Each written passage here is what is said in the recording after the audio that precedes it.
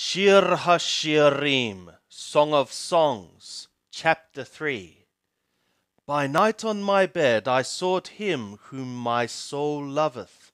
I sought him, but I found him not. I said, I will rise now, and go about the city, in the streets, and in the broad ways I will seek him whom my soul loveth. I sought him, but I found him not. The watchmen that go about the city found me, to whom I said, Saw ye him whom my soul loveth? It was but a little that I passed from them, when I found him whom my soul loveth. I held him, and would not let him go, until I had brought him into my mother's house, and into the chamber of her that conceived me.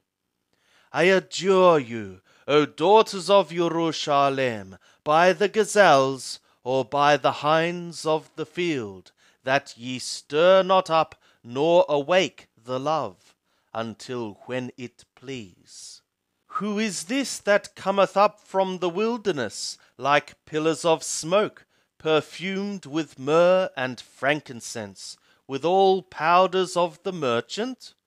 Behold, it is the litter of Shalomor.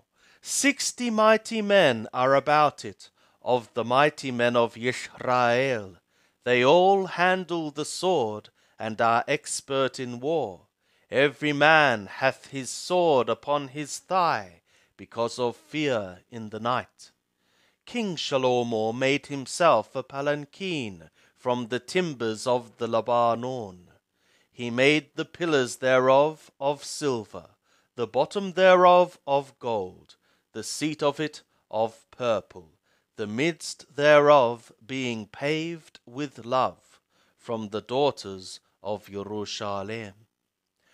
Go forth, O ye daughters of Zion, and behold King Shalomor, with the crown wherewith his mother hath crowned him in the day of his marriage, and in the day of the gladness of his heart.